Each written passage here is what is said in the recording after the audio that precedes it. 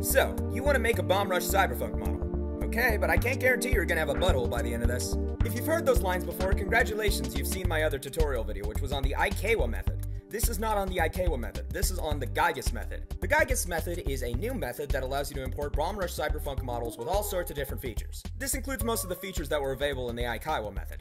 So, why use this method instead of the Ikewa method? The simple fact of the matter is that the Giygas method is updating insanely fast. So fast, in fact, that this tutorial will likely be obsolete in a week. I mention that specifically because this tutorial should be used in tandem with the text guide. First link in the description. The general philosophy is this. The steps might change in small ways, but overall, watching this video will get you the gist of what you need to be doing. Again, once more to make it clear, do not just watch the video, check the text guide. In addition, if you have questions, don't leave them in the YouTube comments. Check out the Team Reptile Discord instead. I can't help you if you just tell me the texture's not working. I don't know what that means. Post it somewhere where people can see. Again, that's the Team Reptile Discord. Check the second link in the description. Okay, everyone stand the fuck back. I'm going to attempt to teach. First things first, let's talk about installing mods. Now last time on the last tutorial I didn't cover this, because the last tutorial was supposed to be unlisted and I'm a fucking moron and it was public instead. So this one is for all of you public people. Hello. At the current moment, there are two mod managers. One of them is made by Overwolf. Look them up. There is one mod manager, and it is called R2 Mod Manager. It is the other one you keep hearing about, Thunderstore, but without the spyware, because it's not made by Overwolf. And when I say it is the other one, I mean it literally, it's the same program. Alright, cool, install it on your computer. Go ahead, I'll wait. Okay, you done? Cool. Go here, type in Bomb Rush Cyberfunk. Doesn't really matter what user profile you use, ignore that. And navigate to Online Mods. Download BepInEx. You're gonna need it. Next, download any other mod. Just whatever you feel like. This is an important step, you can't skip it. Congratulations, you now have a plugins folder. Go to your settings, hit Browse Profile Folder. Open the BepInEx folder. Look, Jim, plugins. Open the folder. Third link time, scroll down, download the plugin. Open the zip file. Do you see this folder that says BRC custom characters? Drag it into the plugins folder. You have now successfully installed the plugin. If there is a problem, it is not your plugin installation. Unless Giygas releases a broken one, in which case, uh, ignore that. Alright, get the text tutorial up. If you are smart and savvy and not ostrich, you can probably read this text tutorial. It's pretty good. I, however, am stupid and dumb, which is why I made this visual tutorial for other stupids and dumbs like me. Right, so to start, go back to the third link. Yeah, I'm sorry. I hope you didn't close that. That's on me. You're gonna want to download the thing that says Unity Project. Gonna be important. Not yet, but important. Next, we're gonna need a model. If you're importing a model from something else, know the following. DAE FBX. Those carry skeletons. .obj files don't carry skeletons. Don't ask me where it is. It's not there. There are other formats that carry skeletons like .pmx and .mesh, but if you're importing one of those, you probably didn't need me to tell you that. I am feeling particularly stupid and dumb today, so we're importing the Noid. That's right, we're importing the fucking Noid. I've lost control of my life. Import your FBX. Whoops. Import your FBX and make sure these settings are on. Automatic bone orientation and ignore leaf bones. Okay, less frightening. Now, if you did the previous method, you might know that I did a bunch of weight painting and stuff for the bones. You don't have to do that here. Just know that the face bones are still there. I'm just gonna hide them on another layer so you can see a bit easier. First things first, we're going to rename some bones. I'll show examples of me renaming all the bones on the screen. You should be able to do it yourself if you follow along. The bones you need to rename are hand L, hand R, foot L, foot R, leg 2, in this case that would be like your shin, L and R, head. Rename this thing right here to root, and you're done. Next up, set up a material. If your material isn't working like the Noid over here, this is what you do.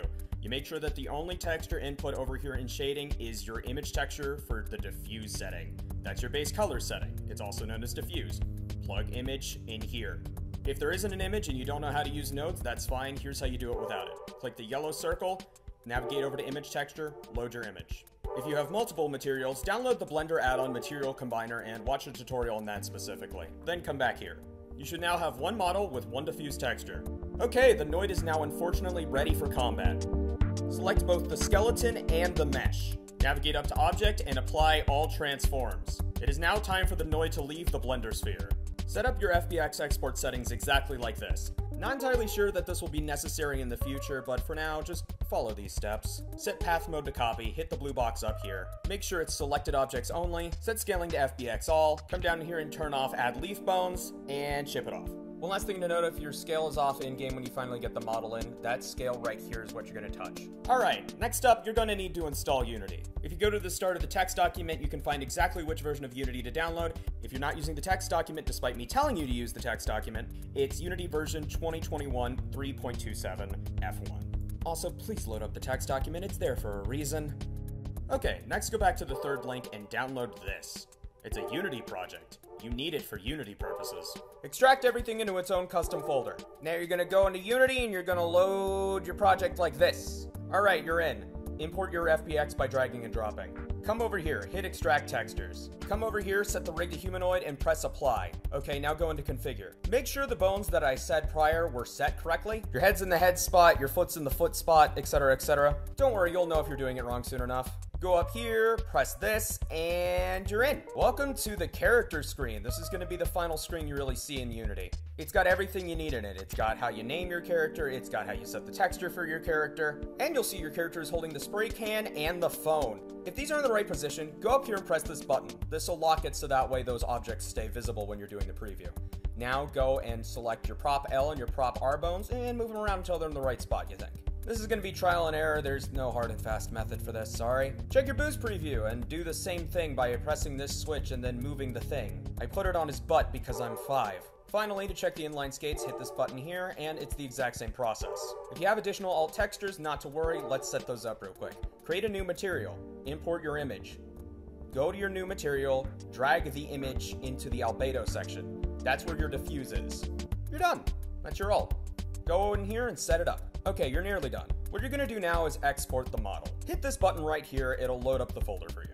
Navigate to your plugins, navigate to the BRC custom character folder, and drag in your custom character into the care assets folder. You're done. Congratulations, you've imported a character into Bomb Rush Cyberfunk. Now I'm gonna quickly rapid fire some FAQ questions. How do I do dynamic bones? I don't know. Uh, we had a script in the Ikewa method. Uh, if you can get that working in the Giygas method, it should work.